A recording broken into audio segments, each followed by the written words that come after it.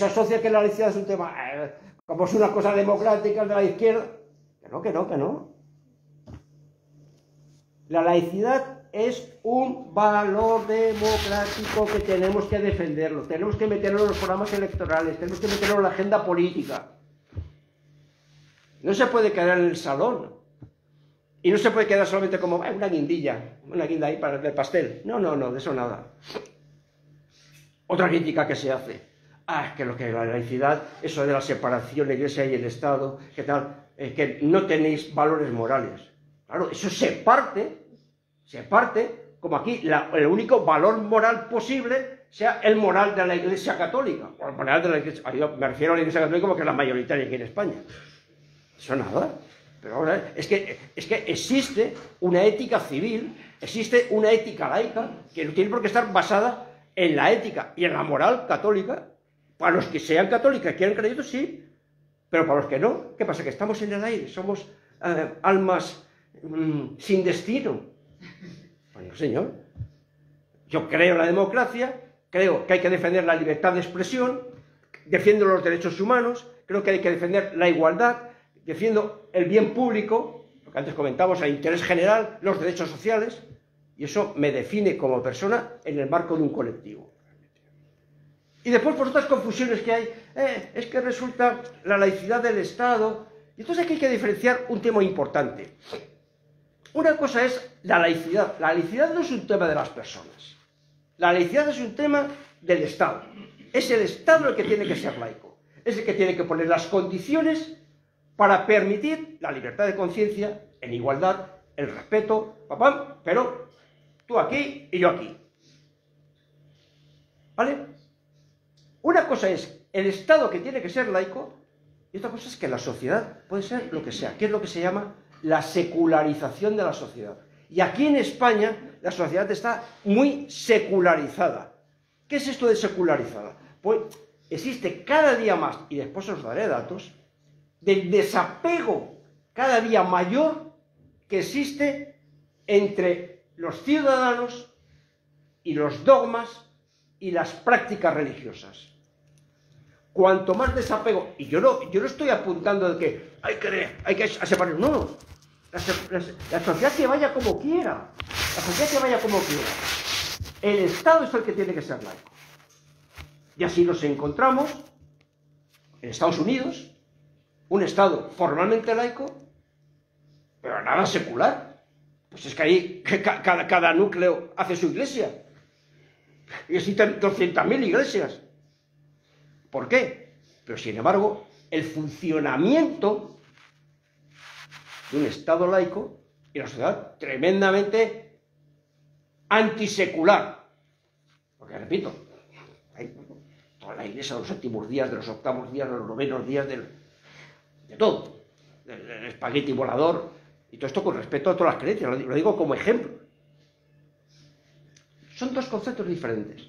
Claro, hay una contradicción aquí en España de una sociedad tremendamente secularizada, tremendamente secularizada, ¿cómo es posible? Aunque no quiere por qué ser así, porque he visto que hay, que puede ser de una manera y de la otra, ¿cómo en España es posible que habiendo una sociedad tremendamente secularizada, y ahí están los datos y después los, los pondremos, las leyes y los comportamientos públicos todavía sigan al machito con la mochila en muchos aspectos del nacionalcatolicismo y consecuentemente antilaicistas. ¿Cómo es posible? Bueno, pues esto tiene muchas explicaciones. Antes comentaba Jesús, dice, claro, la influencia cultural. Pues claro, que venimos de los reyes católicos, que tal, no sé En España perdió el tren de la, de la ilustración, la dictadura. ¿Qué, voy a contar? Pues cada país eh, tiene que asumir su propia historia. Pero mm, hay cosas en que ya están empezando y llevan ya tiempo rechinando. Y ahora comentaremos aquí el tema de un... Hay veces otros debates académicos, pero que Europa laica no se mete en ese detalle. No, pero eh, eh, ¿España es un Estado aconfesional o es un Estado laico? ¿Qué tal? Yo no voy a meterme en esos temas. Hay matices, ¿eh? Hay matices. Porque un Estado confesional es el que no tiene confesión oficial. Y España no lo tiene. Pero un Estado laico es que, además de no tener confesión oficial, es decir, que existe esa separación Iglesia y Estado, es que el Estado se comporta con neutralidad, que es lo que hemos comentado antes, que son los dos elementos para la laicidad. Separación Iglesia y Estado y neutralidad. En España, formalmente existe separación, pero de neutralidad, ahora lo veremos. ¿Y entonces eso qué es? Pues eso es una confesionalidad formal, pero que, eh, con tal de que rascas un poco, pues se nos caen los, los, los, eh, eh, los. Ya ha habido avances en España, ¿cómo no ha habido avances? Claro que ha habido avances. ¿Cómo no ha habido avances? La ley de interrupción voluntaria del embarazo. Una ley claramente respetuosa con la libertad de conciencia, que es una opción personal de conciencia de la mujer de abortar o no abortar. Las personas que sean católicas o que sea, pues la vida viene de Dios, lo que sea, y ejercen. Pero el derecho es para todos. Es la universalidad de las políticas públicas, otro valor del laicismo. El laicismo defiende la universalidad de las políticas públicas y después cada persona acoge o no los derechos. Se hace la ley y cada persona de acuerdo con su conciencia, tal. Antes, aunque se tuviera conciencia de interrumpir el embarazo, estaba penalizado. La ley de eutanasia. ¿Santo de qué ves a salaracas? Es que la conciencia, la vida, ¿no? como es la conciencia, la vida, tú tienes esa conciencia, no lo ejerzas el derecho. Y en España se ha avanzado ese derecho, ¿cómo no? La ley del matrimonio igualitario, lo mismo, son temas de conciencia. Hombre, el tema del ingreso mínimo vital pues, es un tema de conciencia. Es lo que comentábamos antes, de que hay cosas que se definen por mayorías y por minorías, pero hay otras cosas que se definen por cuestiones de conciencia. Y cuando aquí no hay una ley de libertad de eutanasia, se está coartando la libertad de conciencia de las personas que queremos morir de una determinada manera. Que no obligamos a los demás, porque lo privado no lo elevamos a público. Cuando no existe esa ley, sí que lo privado, que había una moral que decía que la vida dependía de, estaba elevado a lo público y por dentro no había ninguna ley. ¿Veis la diferencia? ¿Veis la, la laicidad lo que aporta? La laicidad lo que aporta es políticas universales para todos, libertad de conciencia para todos con respeto a las otras libertades, dentro de los marcos que antes hemos hablado, y eso es un valor democrático, eso no es ninguna ideología. Eh, hemos dicho que esto sale mejor por aquí.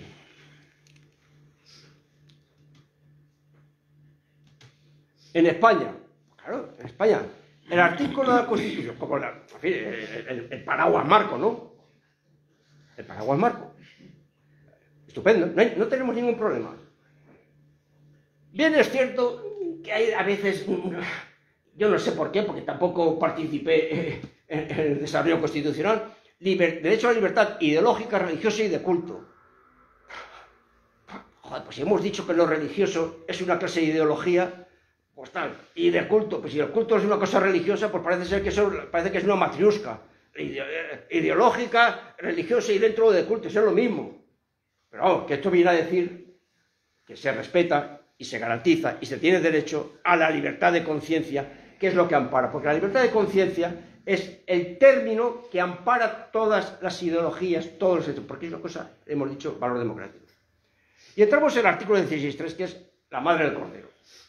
En su primera parte dice, ninguna confesión tendrá carácter estatal. ¡Wow! No he puesto ahí la manita esa de, que viene en el, en el, WhatsApp, porque completamente de acuerdo. ¿Completamente de acuerdo? Ahí tenemos la separación. Pero entramos en la segunda parte de ese mismo artículo, que es una contradicción con la primera. Y es que dice, ¡ay! Pero ojo, el Estado tiene que tener relaciones de cooperación, sin decir cuál es esa cooperación, con la Iglesia Católica, también con otras confesiones, pero con una coletilla que todo el mundo está mirando por otro lado, todo el mundo político, según las convicciones de la sociedad española. Eso es textual en la, Constitución.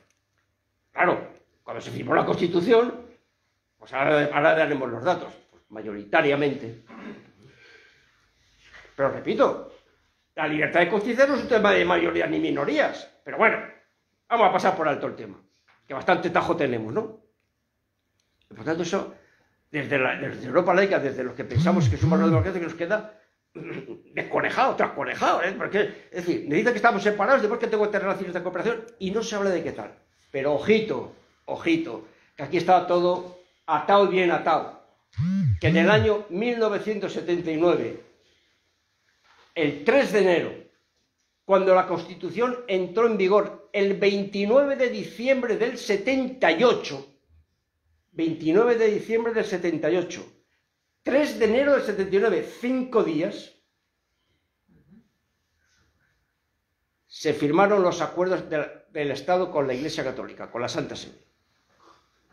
Evidentemente, salvo alguien que quiera creer en lo que quiera creer, esto se venía pactando desde antes.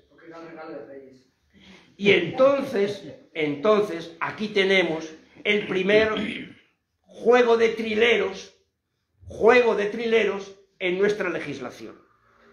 Que es que esa cooperación amorfa, abierta, que los poderes públicos tendrán en cuenta y consecuentemente pues un poder político de un determinado color lo tendría en cuenta en un sentido, otro que sea autoconfesional lo tendría en cuenta en otro, pero estaba abierto lo que tiene que ser una constitución. Cosa abierta que todo el mundo podamos convivir. Ah, no, no. Es que el terreno de juego de esa cooperación estaba ya acotado por los acuerdos. Y los acuerdos son los que están mandatando hoy día lo que es esa cooperación. Y otro día, si queréis, hacemos una charla del contenido de los acuerdos. Esos cuatro acuerdos que están mandatando las relaciones del Estado, que está así, en la cuestión económica, en la cuestión de impuestos, en la cuestión educativa y en cuestiones judiciales. Los famosos acuerdos del año 79 con la Santa Sede. Y esos acuerdos son los que, en un concepto democrático y de la laicidad, venimos dando la vara desde Europa laica, desde otros sectores, pero desde Europa laica, a las fuerzas políticas, que hay que derogar los acuerdos. Que como no deroguemos los acuerdos, eh, seguimos atados. El, el Estado está, ha perdido soberanía no puede legislar, salvo que quiere incumplir. Y como no se quiere incumplir y no se quiere legislar, pues seguimos con el machito. Y si faltaba poco para, para, Partido Vivo, pues los acuerdos con otras confesiones, en el año 1982, tres confesiones, los judíos, los musulmanes y los evangelistas. Y después, más adelante, ha habido otros acuerdos con otras cuatro confesiones, testigos de Jehová, budistas, ortodoxos y mormones. Entonces, estamos empezando a esta tela de araña de un multiconfesionalismo que lo único que hace es emponzoñar cuando, por ejemplo, lo mismo que por esos acuerdos con la Santa Sede se obliga a que la asignatura de religión esté dentro de la religión católica esté dentro de la escuela, en ese malentendido multiconfesionalismo democrático, entran las otras religiones y tocan a la puerta para estar también dentro de la escuela. Y entonces uno se plantea, es que esto de la escuela no puede ser una verbena. Todos ahí dentro. Entre otras cosas por cuestión, hasta, por, lo propio de cómo se organiza el horario escolar. Aunque solamente se fuera por eso, pero no solamente por eso. Porque uno se plantea y dice, bueno, ¿y por qué lo religioso tiene que tener supremacía de estar dentro de la escuela? ¿Por qué no entran todas las ideologías dentro de la escuela? ¿Y cuál es la solución para eso? Que entre o que lo privado se quede en lo privado y que lo público sea lo público. Vemos cómo el laicismo sí que tiene traducción práctica, no es una guinda, no es un debate de salón, no es un debate filosófico, aunque no lo desechamos, es que tiene traducciones prácticas. Y aquí nos encontramos la ley de libertad religiosa. Hombre, pero si ahí arriba se dice derecho a libertad ideológica, religión de culto. Que hasta el Tribunal Constitucional ha dicho, eso es equivalente a la libertad de conciencia. Muy bien. Legislese la libertad de conciencia para las, creencias que no son religiosas. ¿Se ha legislado? No. Solamente se ha legislado para la libertad religiosa. Entonces aquí parece ser que existen diferentes categorías de ciudadanos.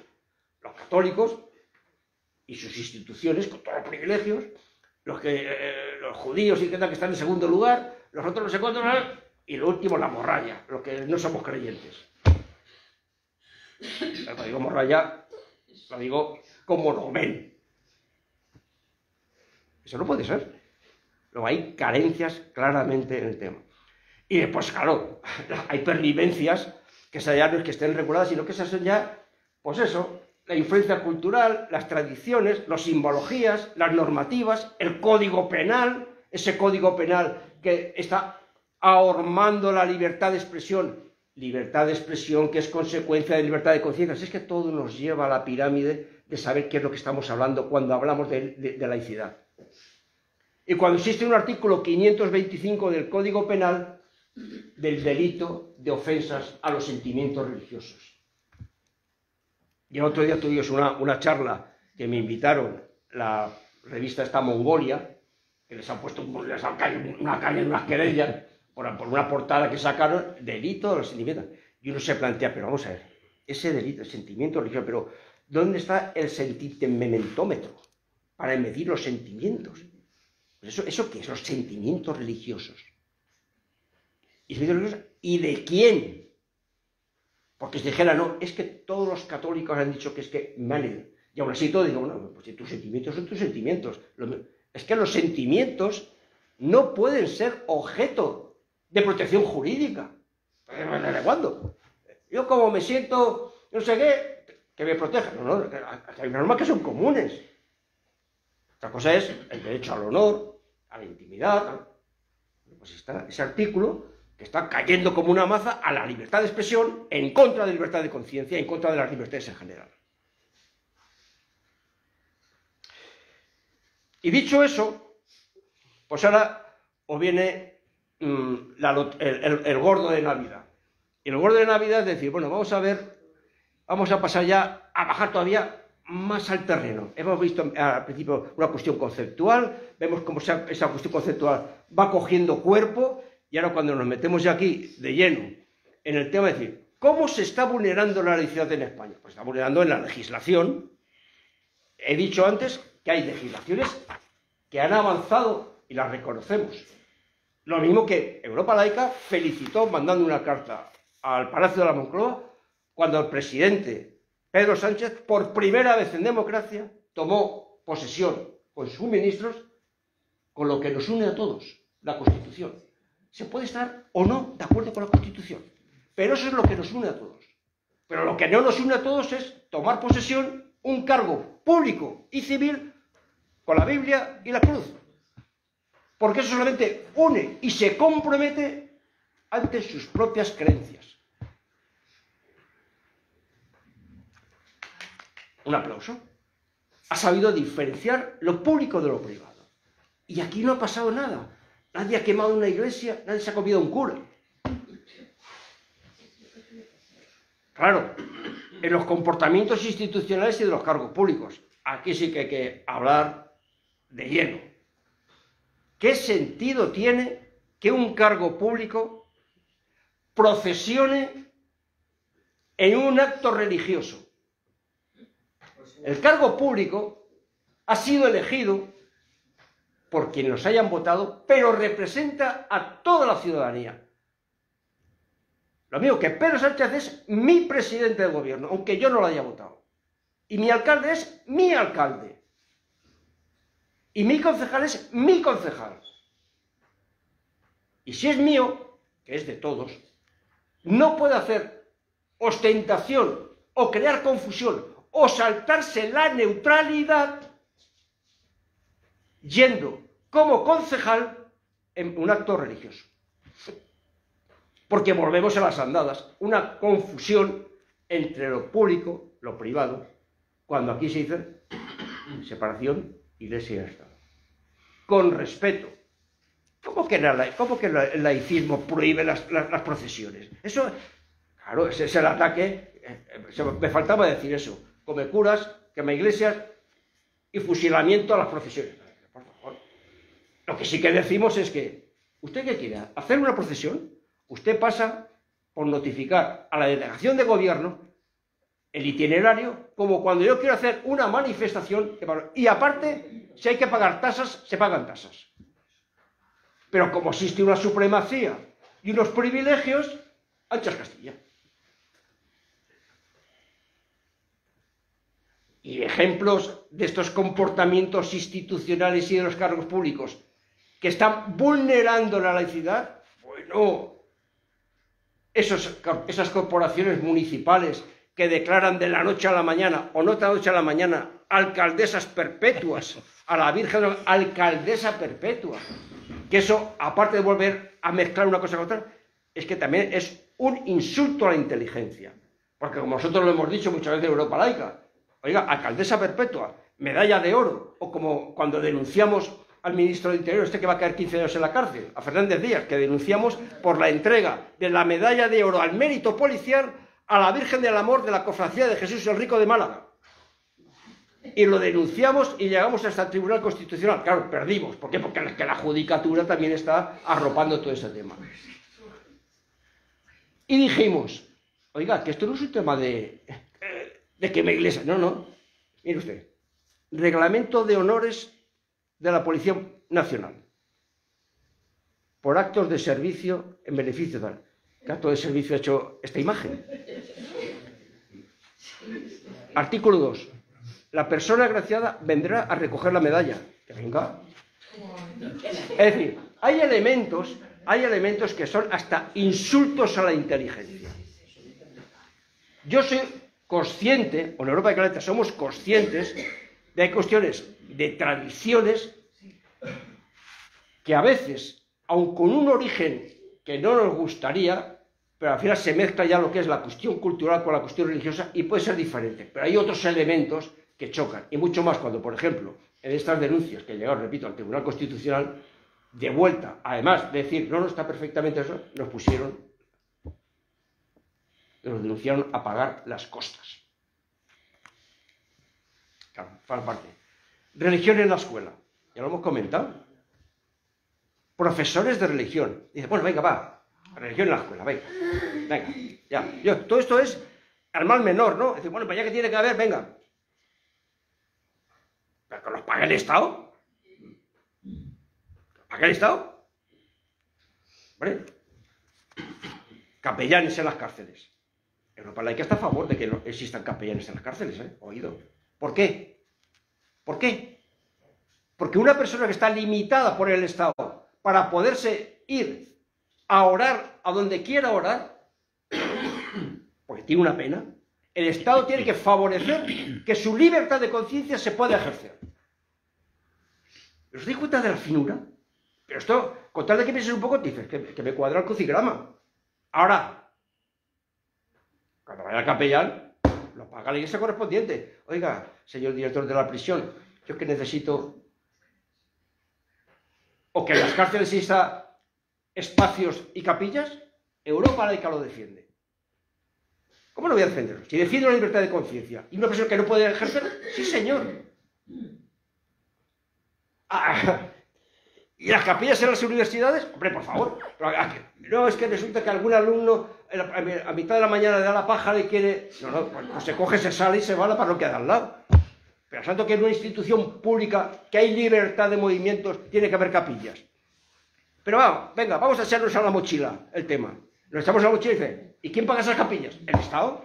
Eso no puede ser. Luego aquí es una cosa detrás de otra, como vemos que se está vulnerando de una forma acumulativa y con mucha comodidad, con mucha rutina, que esto es así.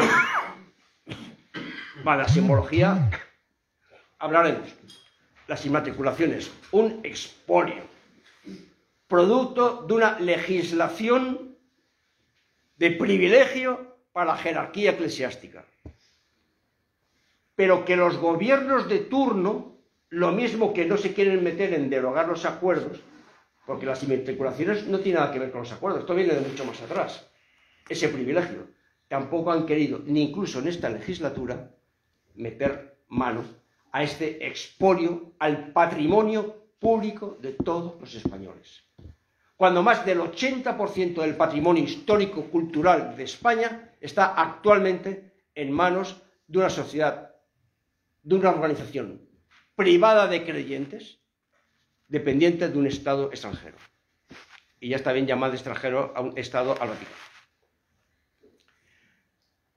Otro elemento.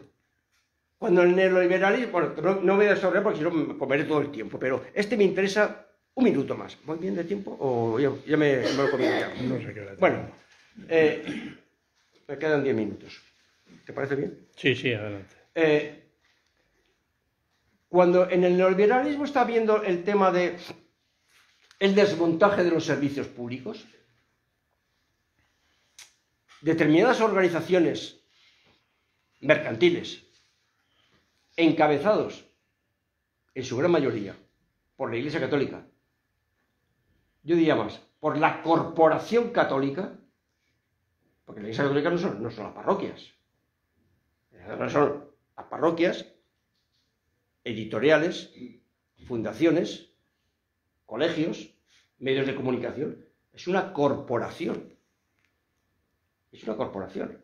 Es decir, la Iglesia Católica, de pasar a ser una referencia moral y espiritual, como existe ese desapego cada día mayor, se ha dado cuenta y dice, no, aquí lo que a nosotros nos interesa es lo de siempre, ser un poder económico e ideológico.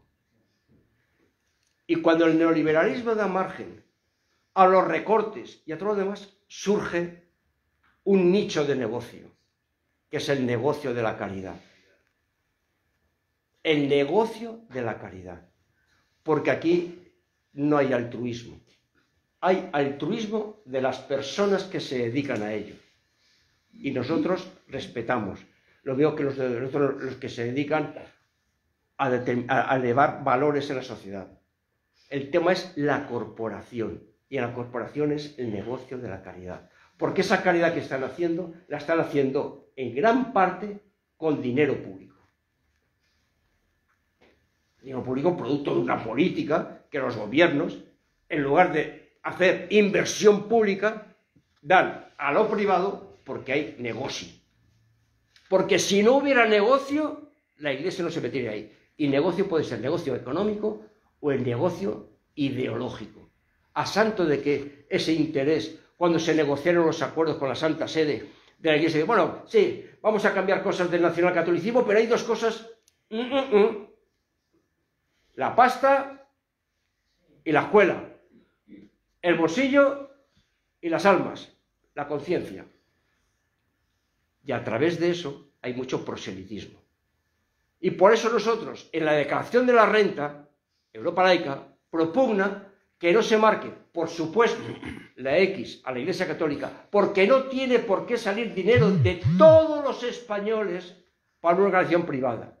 La Iglesia se tiene que autofinanciar, lo mismo que se autofinancia Izquierda Unida y luego que se autofinancia Europa Laica. Pero tampoco la casilla de fines sociales. Y hay muchas razones y en otra charla podría explicarla, pero por una razón que todo el mundo va a entender. Dato, más del 50% de las organizaciones que reciben el dinero que se coge por la Castilla a fines sociales son del entorno de la Iglesia Católica, con distintos nombres, y aparte lo hemos detectado, que cada año más antes aparecía la, ONG, no sé cuántas, de las hermanitas de no sé qué, y, y sumabas y dices, ahora ya nombres variopintos, fundaciones variopintas, que dices, pero vamos, tenéis que meter hasta en el registro de la propiedad para ver de que detrás de eso está la corporación. Porque ahora están jugando al negocio. Y aunque solamente fuera por eso, no hay que marcar la casilla de fines sociales. Los fines sociales tienen que ser una obligación del Estado, con partidas específicas, y no dejarlo al albur de los que quieran poner la casilla ahí. No, no, no. Nosotros estamos a favor de los fines sociales, pero no como está articulado. Y mucho menos cuando sabemos que más del 50%, que son los últimos datos que tiene Europa Laica tabulados, van a organizaciones del entorno de la corporación. Y otro mensaje importantísimo desde Europa laica. Aquí se he comentado, Iglesia Católica por aquí, Iglesia Potero la corporación, patepín, pam, pam.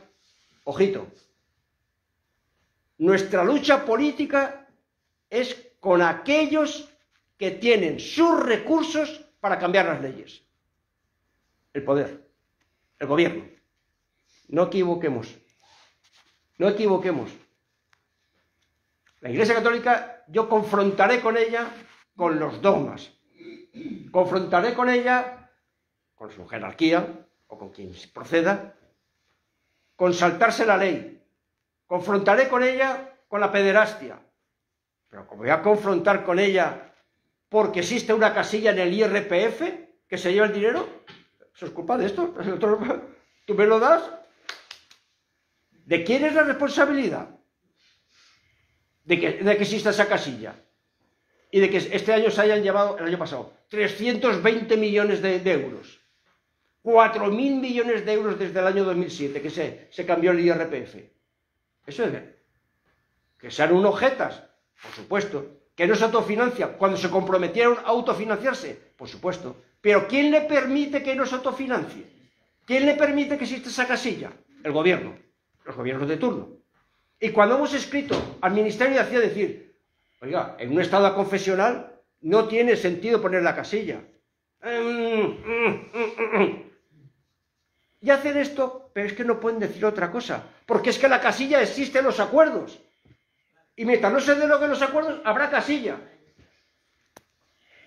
Pero es que esto da pie a que el multiconfesionalismo toca la puerta. Oye, habrá más casillas. Bueno, pues vamos a poner casillas, vamos a poner casillas. Es que todavía, si dijera, vamos a poner casillas porque estos son presupuestos participativos. Vamos, todavía ponemos mil casillas. Europa Laica no quiere mil casillas. Europa Laica quiere que todos los impuestos a la hucha común. Y el gobierno de turno los reparte. Y eso es una lucha política. Pero lo que no vale es que por la puerta trasera, 320 millones el año pasado, salgan por aquí. Y por la parte de fines sociales, 185 millones. 500 millones al año se lleva a través del IRPF la Corporación Católica. No tiene sentido. Acabo ya.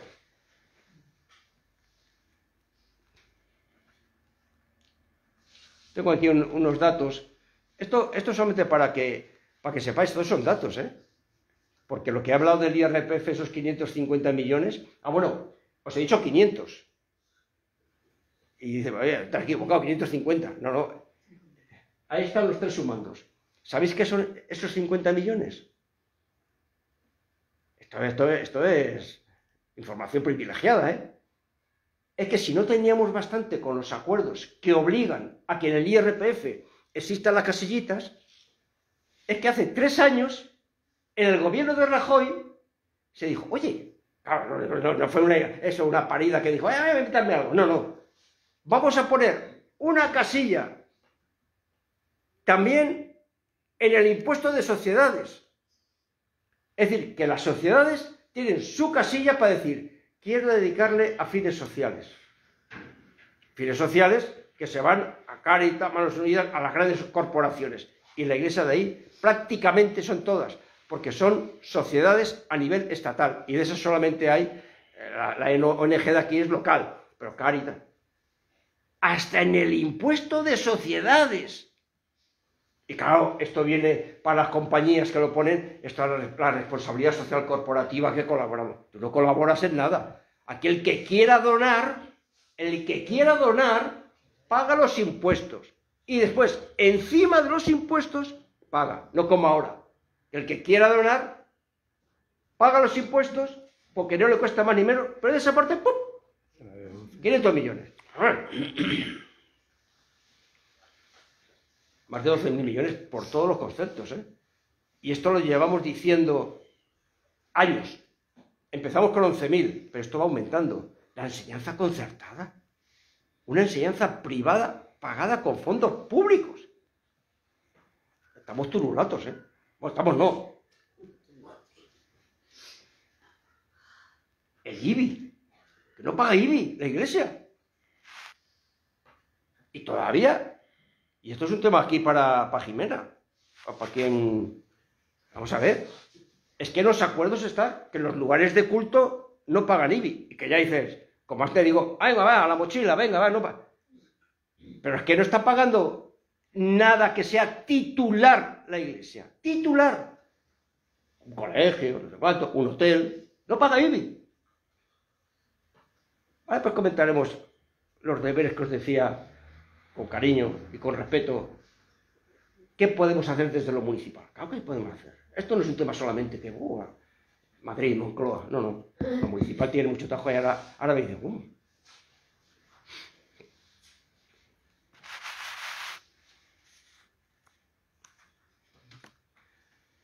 Y esto, ese artículo de cooperación de acuerdo con las... ¿eh?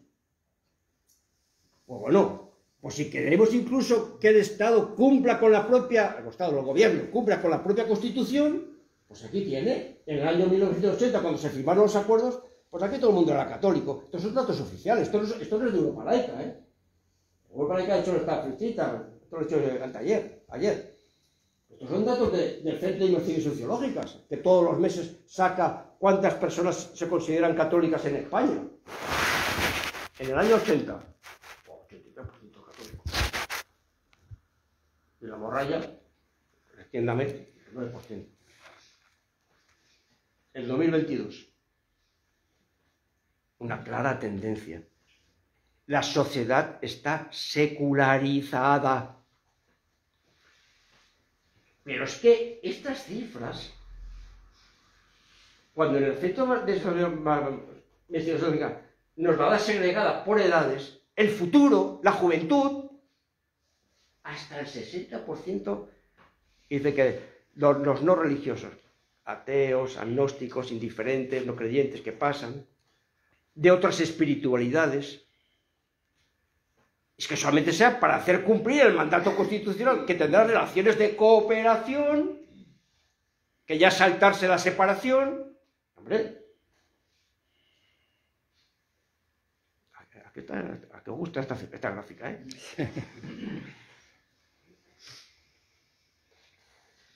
por edades. Lo que os decía, el total es lo mismo que allí, 18, 24, y claro, veis, veis cómo los colores, razonable, personas de más edad, pues su religiosidad católica, pues tiene una mayor preponderancia. Y aquí tenemos que convivir todos. Pero bueno, si vamos a todos, vamos al total. Ya han visto los totales, como desde el 83% en el año 80, estamos ahora en el 56%. Aquí tenemos que hacer algo.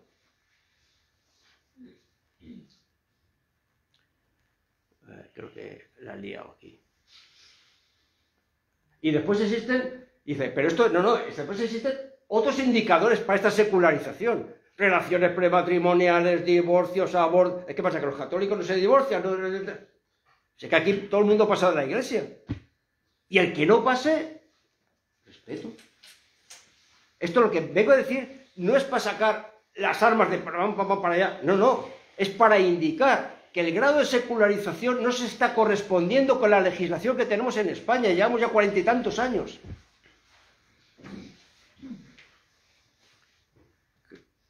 Esto lo que me he pasado aquí está aquí. Ah, esta, ¿eh? se me ha ido esta aquí. Esta, esta, os la quiero enseñar también. Esta. Asistencia a oficios religiosos.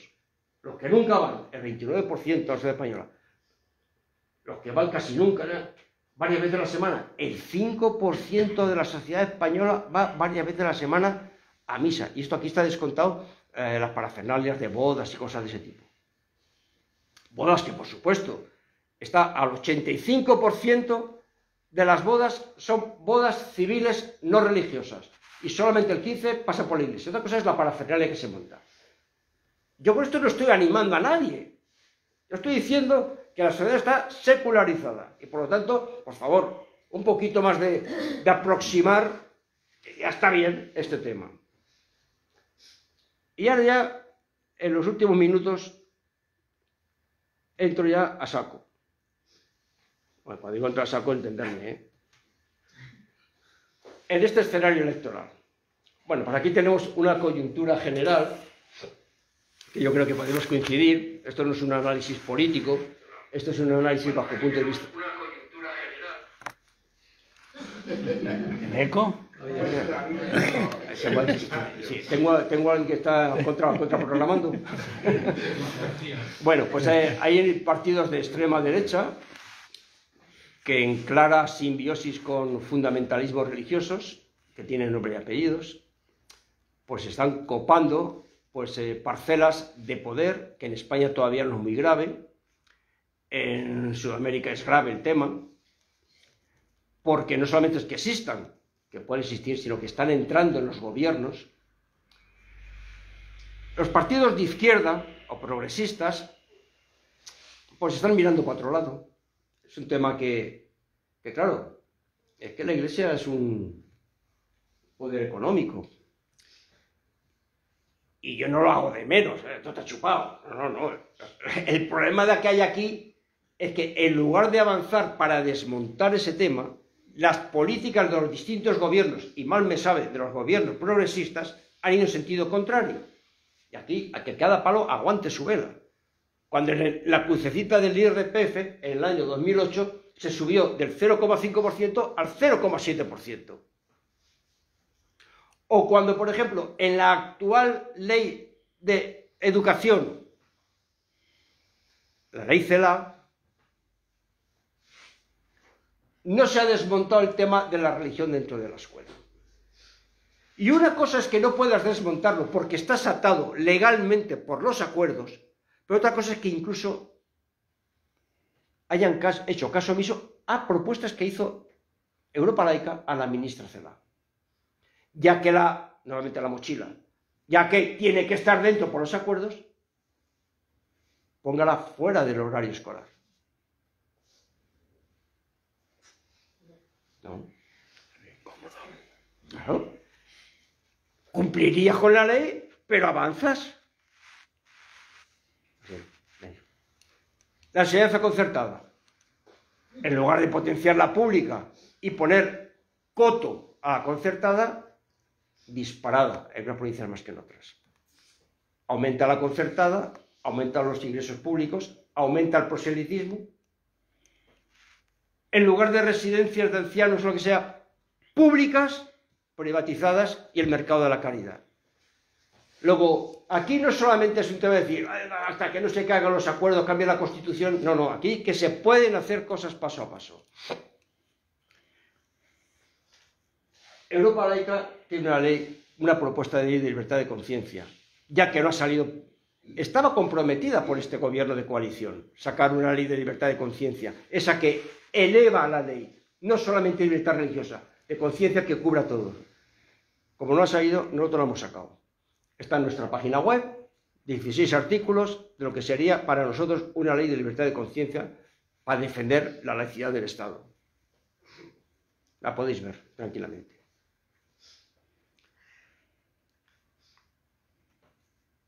Lo mismo, y esta ya es la última, si se deja, que hemos sacado, como hacemos todos los eventos electorales, una carta reivindicativa por la libertad de conciencia y por la laicidad. Esto no es eh, palabrería. Aquí están artículos concretos. Que después de esta charla dice, pues lo que habéis dicho se pone en artículo.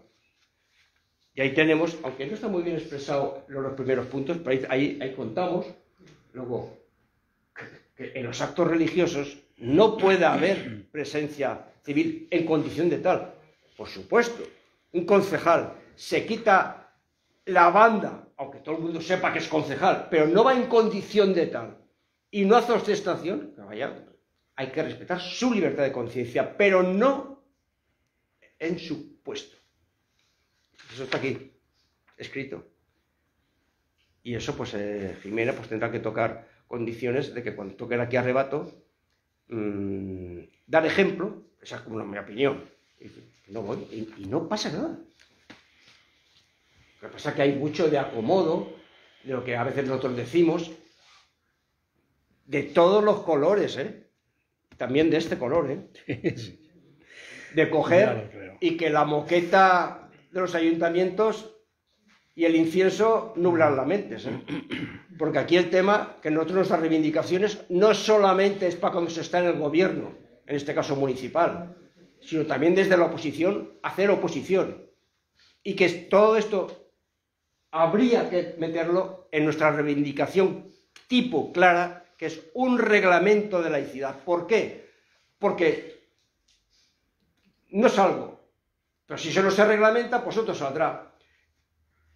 Y si no se reglamenta que no se pueden otorgar honores a la Virgen de Alcaldesa, no sé cuánto menos, pues unos otros y otros no. En fin, tiene que haber un marco de que muchas veces nos preguntamos, esta esta aconfesionalidad formal del Estado, ¿en qué se traduce?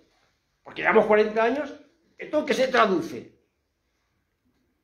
Vamos a hacer un reglamento de laicidad, de confesionalidad, como queráis, no vamos a meternos con las palabrerías, pero que hay que estar regulado lo que significa. Ahí tiene que estar regulado que los actos de posesión de los cargos públicos se hacen frente a lo común, como esto Sánchez. Pero si mañana entra uno de derecha, otra vez tenemos el... No, no, eso tiene que estar regulado. Y eso está ahora mismo al albur. Medios públicos de comunicación. Pero ¿cómo es posible que a las 5 de la mañana, todos los días, para los que tenemos insomnio y nos toca estar al día, nos tenemos que tragar 10 minutos de alborada de la Iglesia Católica? Porque están los acuerdos que los medios públicos de comunicación emitirán no sé cuántos menos. Y pues eso se ha traducido en un convenio que... Pero vamos a ver, si, yo, si tú tienes libertad de conciencia, incluso se te ha otorgado, se te ha, me refiero a la corporación, frecuencias de emisión de televisión, frecuencias de emisión de radio, tienes de medio de comunicación, pues ahí tienes tú para, tu gente. ¿Pero ¿Por qué tienes que invadir lo público? ¿Para qué tienes que invadir lo público? Porque ahora hemos escrito una carta, por hace tiempo ya, una carta de protesta al director general de Radio y Televisión Española, eh, que los acuerdos dicen que no sé qué tal. Y esos acuerdos es el cajón desastre. Los acuerdos hay que derogarlos. Y tiene que haber una ley de libertad de conciencia que respete todas las conciencias, también las religiosas. Los honores y conmemoraciones, porque te voy a comentar. Hay cosas de la alcaldesa perpetua que va de suyo. Otros que nos gustaría que el callejero no tuviera tantos santos y que hubiera más conmemoraciones civiles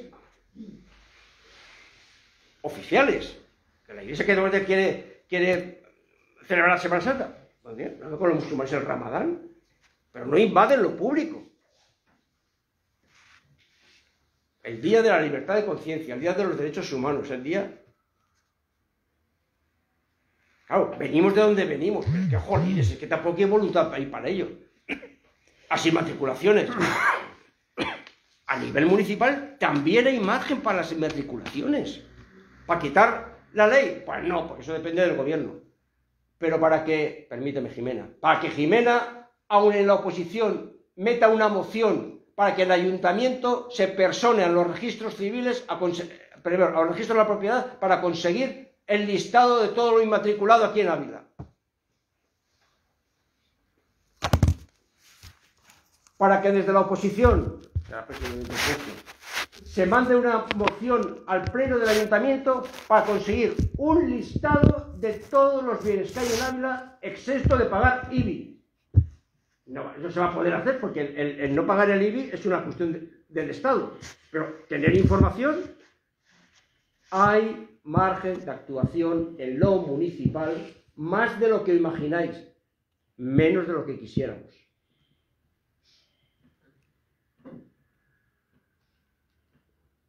¿Y ahora qué? Pues muchas gracias.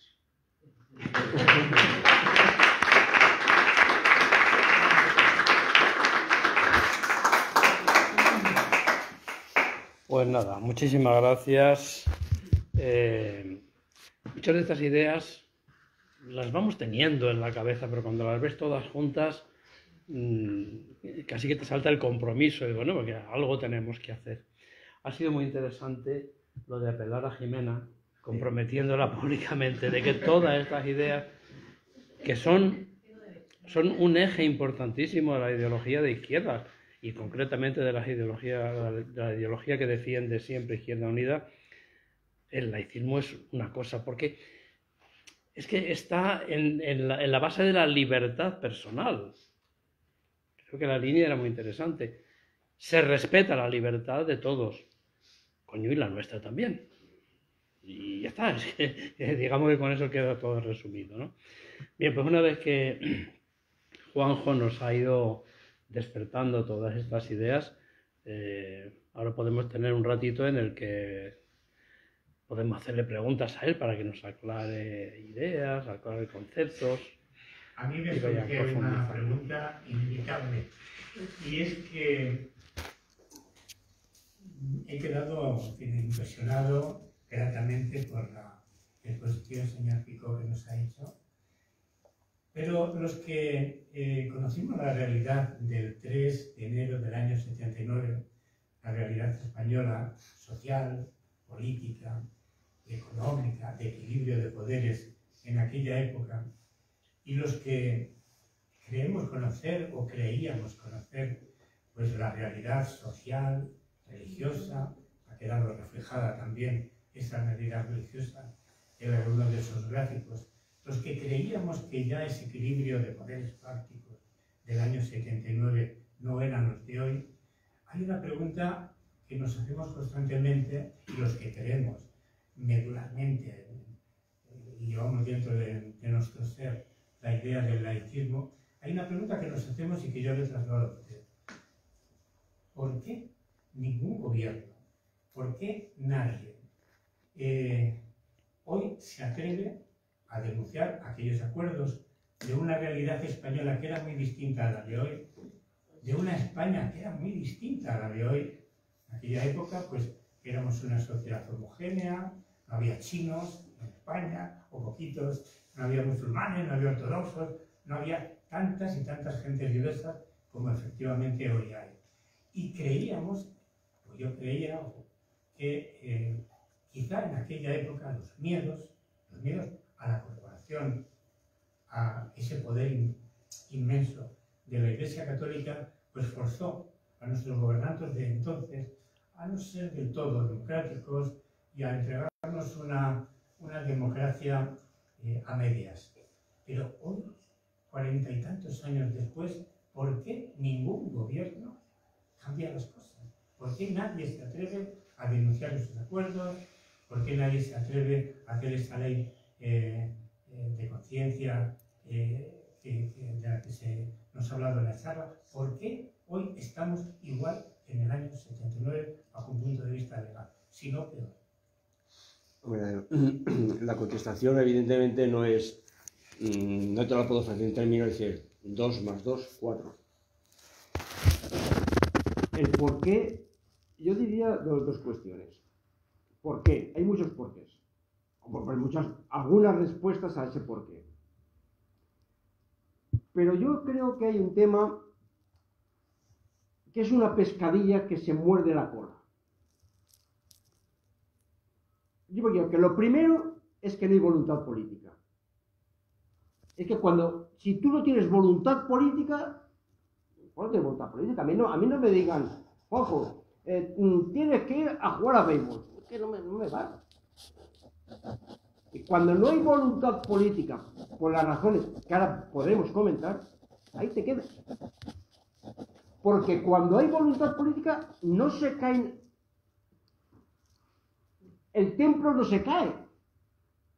Es decir, alguien se puede imaginar desde una postura acomodaticia que alguien le pudiera haber dicho en España con esa misma composición que tú dices, permíteme que te habla de tú, y viceversa, lógicamente, que en España iba a ser un país pionero en un acto de laicismo, de libertad de conciencia como el matrimonio igualitario, 13 países en el mundo. La cosa estaba vendida. Uy, no hay, no hay, no hay condiciones. Uh. hubo voluntad política. Y con todas las hordas en la calle. Las hordas del clérigo. Hubo voluntad política. No, es que, es que esto... No es que vamos a perder votos. Hubo voluntad política. Si no la hay, se acabó la discusión. La ley de eutanasia, que toca al meollo del magisterio, y es verdad que ha sido el año 2022, pioneros en el mundo, junto con otros, podría haberse dicho, oye, es que esto no es prioritario, anda, anda que no hay cosas. Es decir, el que quiera gobernante encontrar motivos para decir, no es el momento, no es prioritario, hay otros países, lo tiene hecho. Lo que yo la primera cuestión digo, ¿hay voluntad política? Si no la hay, saco la discusión. Esa es la primera cuestión. Segundo elemento que yo pongo en, en la palestra.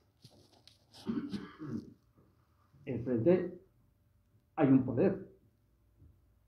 Porque en estos ejemplos que yo he puesto, estos dos últimos ejemplos, ahí se está atacando a la moral. Pero la iglesia tiene perdida la batalla de la moral. Pero donde no tiene perdida la batalla es en la pasta. Y por lo tanto, derogar los acuerdos no es solamente un tema moral, es un tema que le tocas el bolsillo. Y ahí chocas con un poder fáctico. Pero yo vuelvo a decir lo mismo. ¿O es que el Banco Santander no es un poder fáctico? Ya ha habido voluntad política de poner un impuesto a la banca. Con todas las... Este, gobierno, con todas las miserias, mm, todas las escapatorias, todas no sé cuántos, y poner una limitación al tema del impuesto de sociedades, que no menos del 15%. Porque esto es una lucha de clases, una lucha de una confrontación, en este caso de poderes. Pero tienes que partir de que tienes esa voluntad. Si no la tienes, tal. Y después, ahora hay un tema, lo que te digo yo, que se muerde la cola. Cuando, por no querer meter mano, avanza la enseñanza concertada, 80% confesional. Cuando por no querer mano se crean 25 nuevas universidades privadas mayoritariamente confesionales y ninguna pública. Cuando por no querer mano estás alimentando centros que posiblemente pasado mañana es una germen, un semillero de élites que van a hacer las leyes, te estás hundiendo contigo mismo. Claro, a esto hay que ponerle coto, porque ese semillero va así. Ese semillero va aumentando, te, va alimentando, la concertada no le das importancia, pero que la concertada no es que no se es que segrega, genera élites, la universidad no te lo digo, y de la universidad salen mayoritariamente las élites de la judicatura. Salen mayoritariamente, con esto estoy diciendo que todas las judicaturas son fachas, pero que el sustrato es que no le dan valor a este tema. Y tercer elemento que te pongo en consideración. Con el neoliberalismo existe en la sociedad un demérito de lo público. Todo el mundo va a la salida individual. Y cuando hay demérito de lo público, esos 12.000 millones, la gente dice, no le da la importancia que tiene, porque lo público, aquí lo que es importante es la salida personal. Entonces, estamos en una ola histórica que hay que ponerle palos en la rueda. La tendencia es jorobada, pero los gobiernos de turno también de todos los colores, no quieren saber nada de ello. Y después hay un tercer, cuarto elemento, no sé dónde voy, pero es otro elemento. Esas élites, en los partidos que están en el poder, de todos los colores, tienen dentro de los partidos lobbies confesionales. Es decir, que no solamente está delante de la corporación, dentro tienen lobbies confesionales. Y a mí me choca que partidos muy novedosos de izquierda tengan dentro de su estructura, no quiero decirlo para que no se sepa de quién estoy hablando, un lobby confesional, con nombres y apellidos, organizativo, no de una persona, por no hablar, porque estoy sí que es más público, cristianos socialistas, una organización dentro del Partido Socialista. Y si recuerdas nombres de ministros que han estado en el poder, porque ahora yo estoy refiriendo a la izquierda, la derecha está tan a gusto, porque es que la derecha forma parte de la corporación. No porque sean curas, sino porque son los dueños de la parte de la corporación. ¿De quién es la, la universidad privada de, San Vicente Ferrer de Valencia? Vamos, de nombres propios, de nombres propios de los que sabemos que están en esta parte del espectro, perdón, en esta parte para que lo veáis. Bono, porque no quiero poner nombres. Hay personas que han ejercido poder y que son lobbies dentro de los partidos, que impiden avanzar.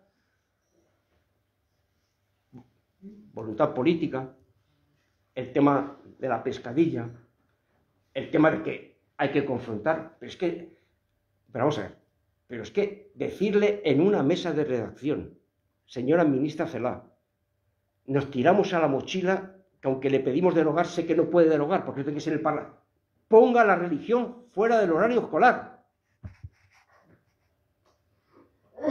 No, no. Como puedes imaginarte, esto no es sota, caballo, rey. Pero o despertamos y rompemos el paradigma de que aquí no se puede hacer nada y de que esto es así, así, porque entonces estaría todavía Pedro Sánchez jurando frente a la Constitución, frente a la Biblia y el Constitución. Más pero los demás algo habrá que hacer.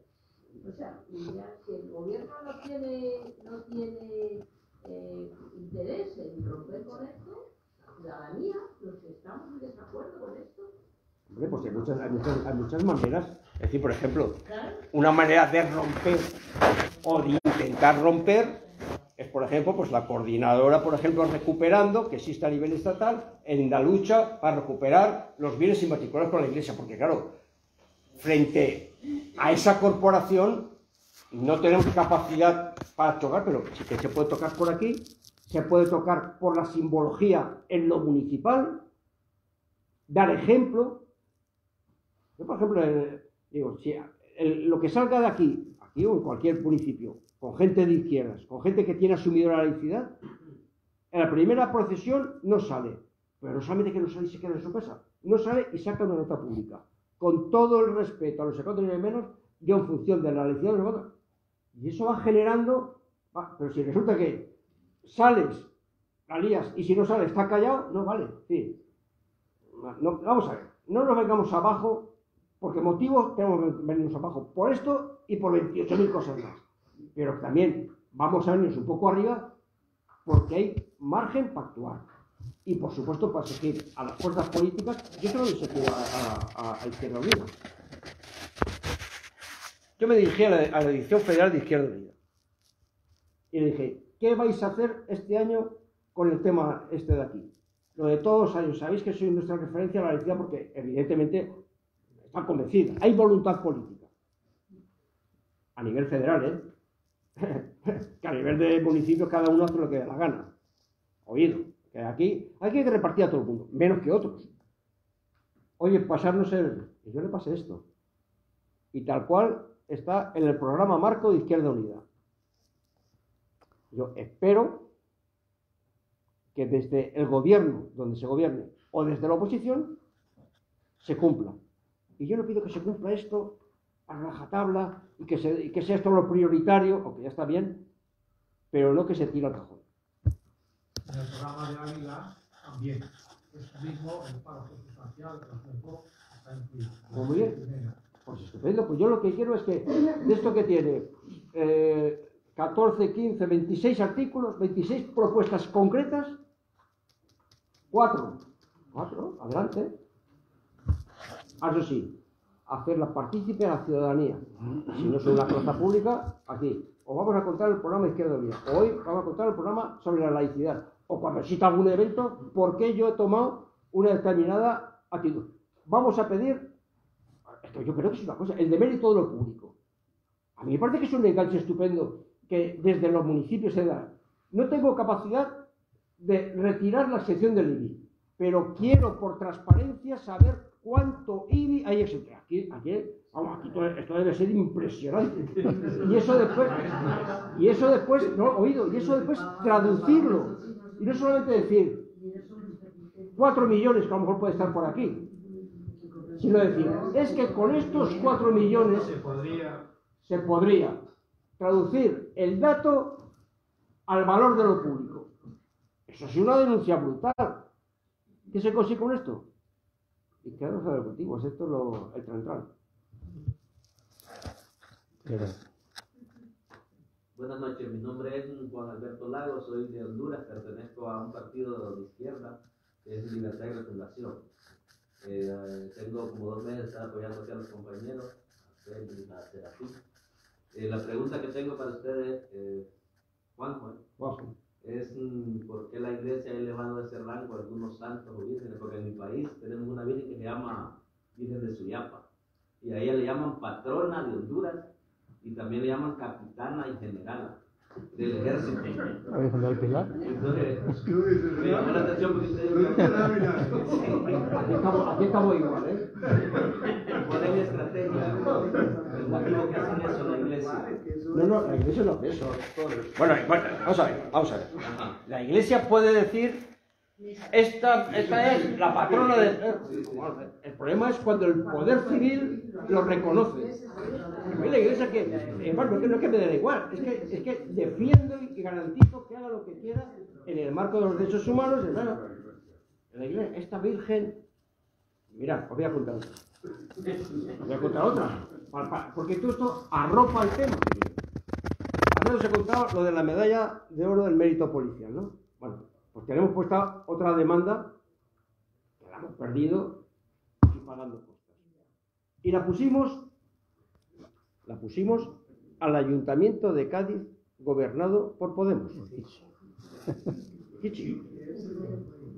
Porque entregó la medalla de oro de la ciudad a la Virgen del Rosario Patrona de la ciudad. patrona de la ciudad. Para mí, que sea patrona, bajo el punto de vista religioso, pero ya el límite de lo estrambótico que nos tiró a denunciarlo judicialmente, y que hemos perdido, porque la judicatura ha dicho, no, no, está muy bien entregado esa medalla de oro. Y aparte, habéis tenido la osadía de denunciarlo. Muchos, muchos miles de dinero, ¿eh? muchos miles de euros que nos han puesto de costas. Están recurridas. Y os enteraréis, porque cuando se confirmen saldremos a la calle a pedir que la ciudadanía nos ayude a pagarla. Otra cosa porque no podemos pagar la cantidad que nos han puesto. ¿Sabéis cuáles fueron los argumentos de una corporación civil y aparte de izquierda para otorgar ese tema?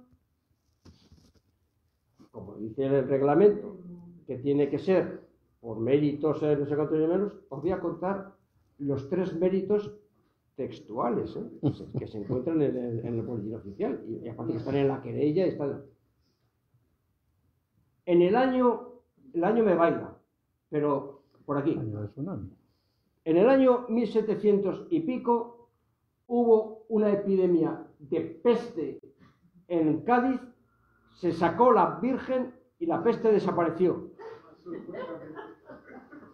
En el año 1700, unos cuantos más allá, hubo una epidemia de fiebre amarilla en Cádiz, hubo unas rogativas y se desapareció.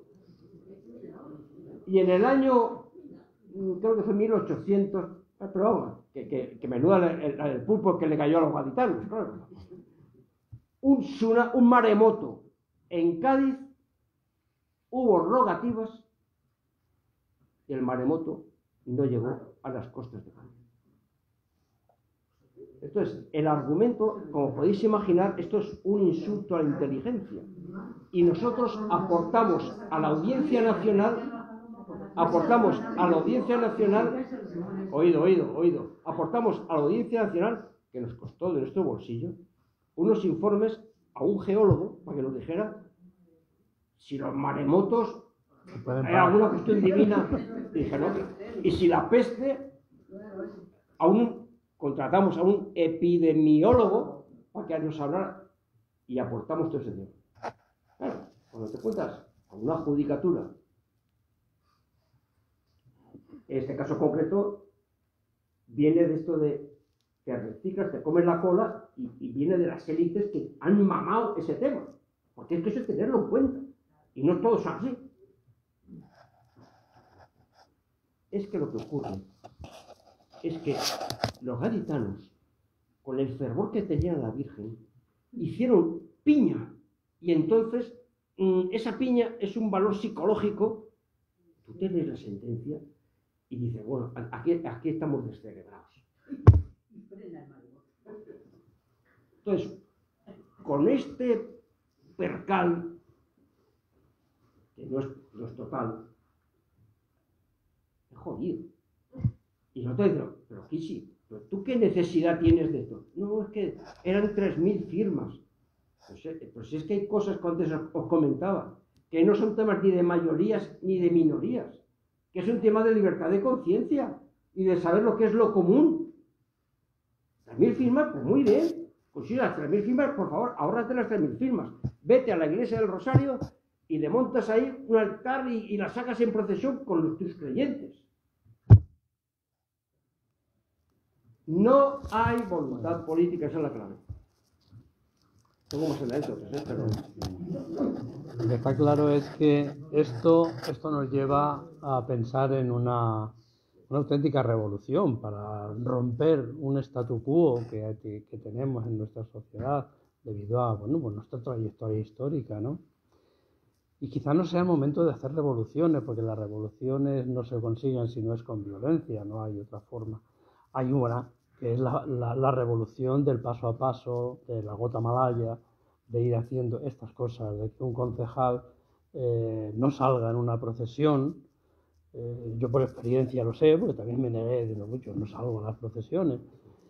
Vale, pues eh, eh, produce cierto movimiento, pero es que una, es que una revolución es un movimiento. Si, si, mm, si no podemos hacer un movimiento tan brusco que dé la vuelta, sí podemos efectivamente ir haciendo pequeños movimientos que van jaleando y que van colocando la arena poco a poco. Es necesario hacer todos esos, todas esas cosas.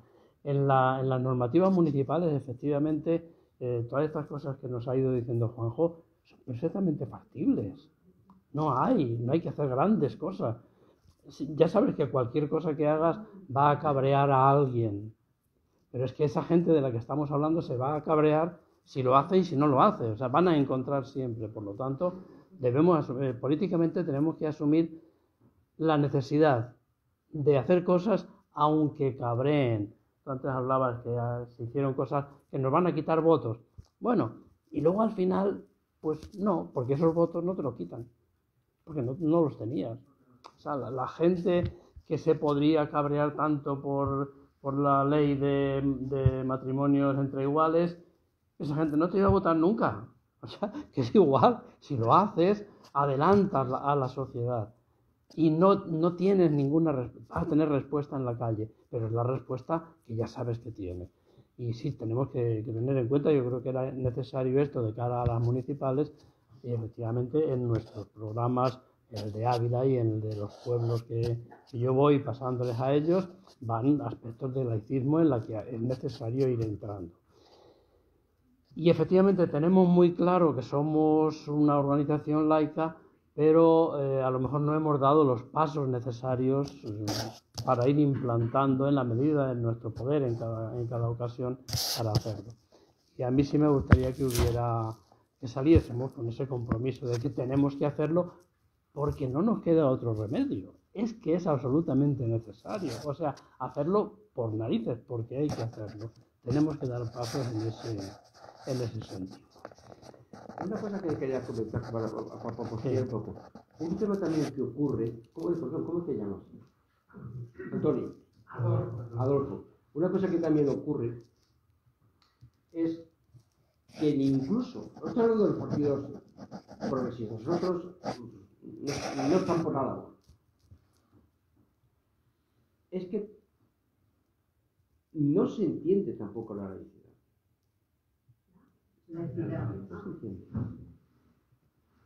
A mí va a ser. mm, yo estoy por toda España, viajando mucho y dando charlas donde me llaman. Y tengo que decir, en honor vuestro, que no es frecuente que desde los partidos políticos llamen para una charla para hacer pedagogía de esto. No es frecuente. Tengo que decir que hace medio año organizamos una jornada con Izquierda Unida Madrid, fue a través del Zoom, y nuestra idea era que la organización de Izquierda Unida convocara a través del Zoom, porque es la comodidad que había, a todos los concejales de la provincia de Madrid. No para impartir la encíclica, pero para que escucharan lo que habían escuchado aquí. Cuatro. Porque no está en la agenda. No está en la agenda. Les voy a dedicarle mm, esta tarde. Y cuando no está en la agenda, pues ya no es prioritario. Surge también el tema de que esto de la laicidad, ¡uh! esto es meterse con la iglesia. Falta también mucha pedagogía. Vamos, hago pedagogía ahí donde nos llaman. Pero es cierto que de los partidos políticos no quieren a veces que vayamos a ponerle los deberes. No quieren correr riesgos. Es que no quieren escuchar. Oye, Ah. esto lo digo también porque como dato. Pero bueno, que hay excepciones como esta de aquí y otras muchas más. Y sobre todo porque este es un tema también de ciudadanía. Que la ciudadanía vaya cogiendo los conceptos, porque esto es una expandir la idea. Sea, mañana habíais tenido aquí, he dado datos, he dado conceptos, las asumís y...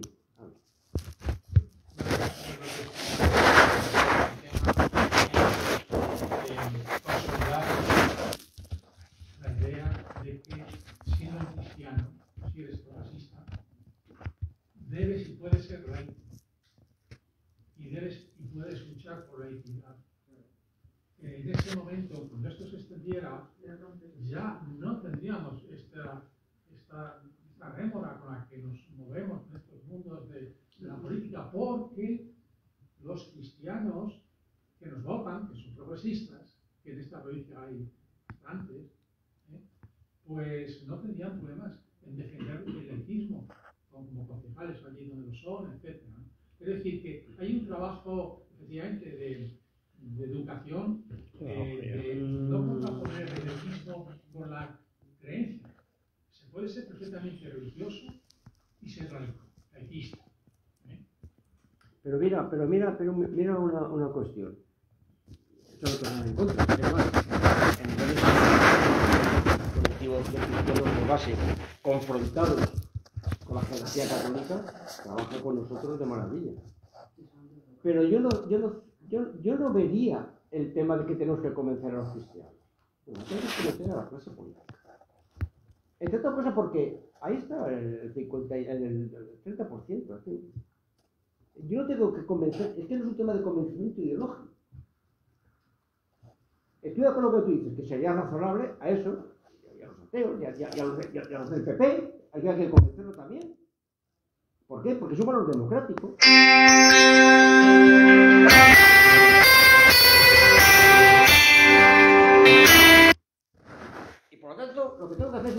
Política. Mm, a los cristianos, como si eso me diera a mí una marca de mira, hasta los cristianos y tal. Hombre, a veces los propios, esta gente de generales cristianas, en el tema de las inmatriculaciones, pues se han portado de maravilla.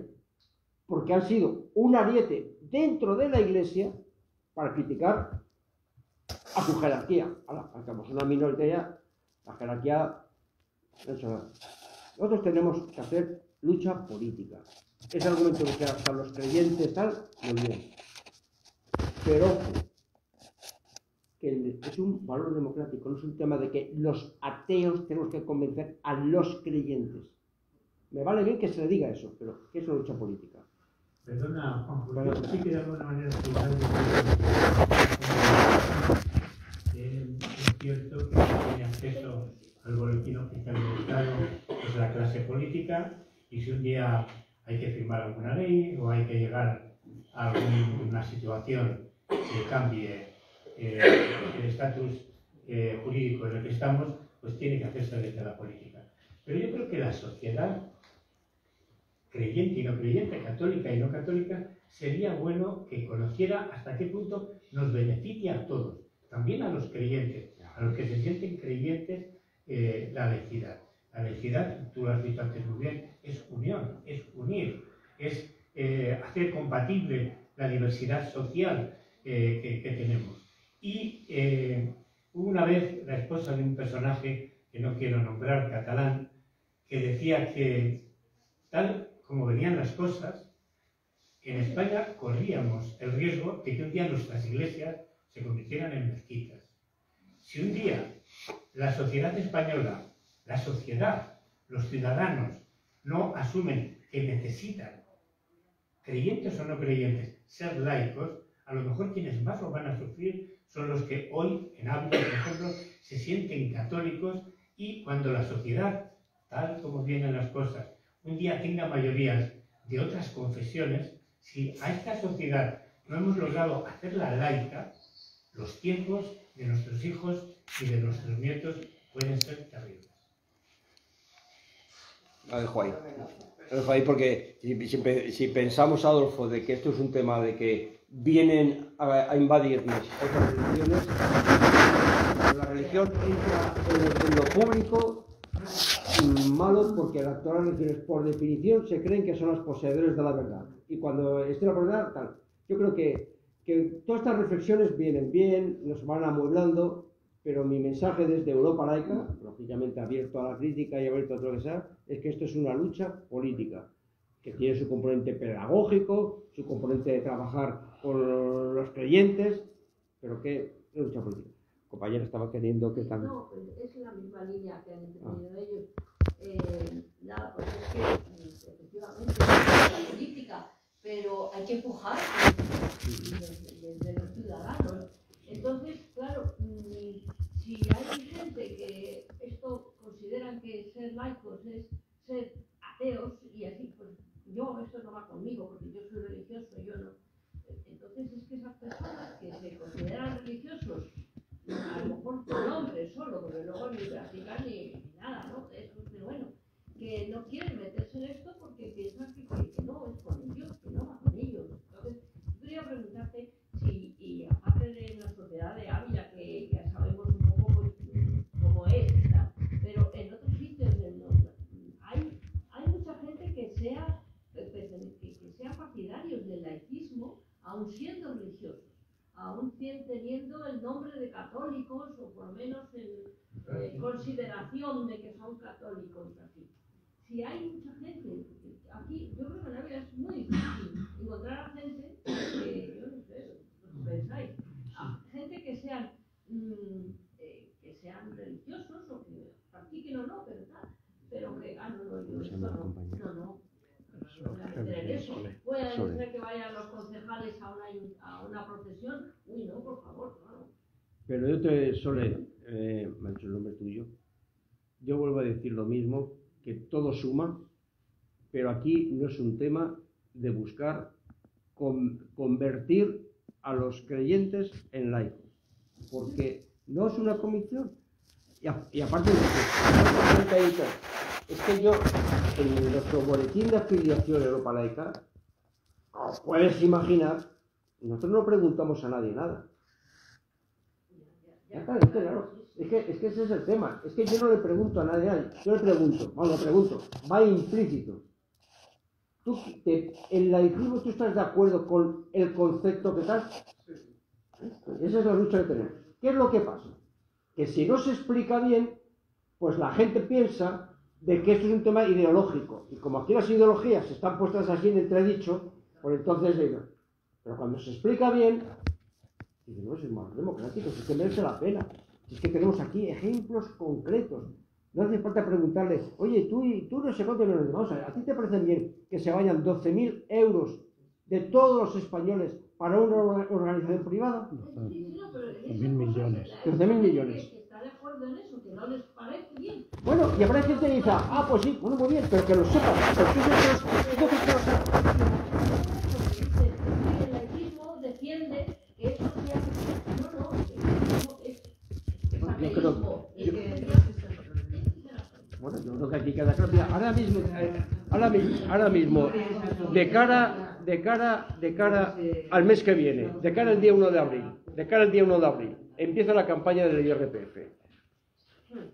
¿Qué podemos hacer?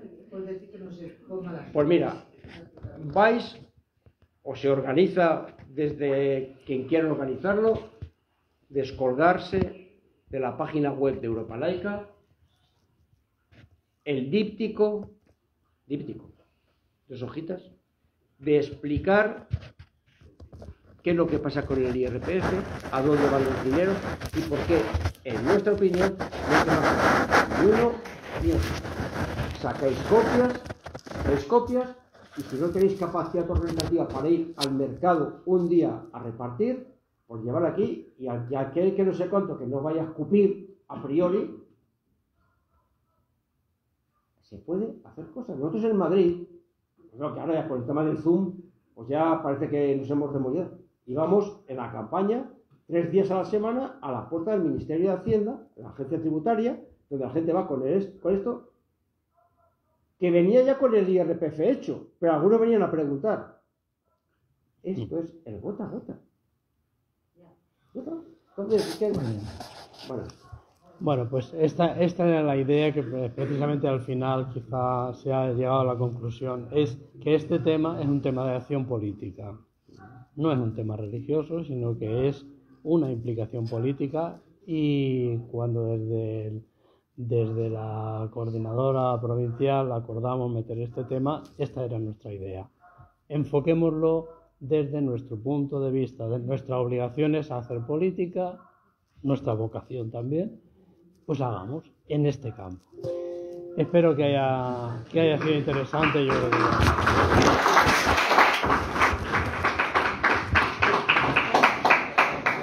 luego tienes tú también ahí en Honduras.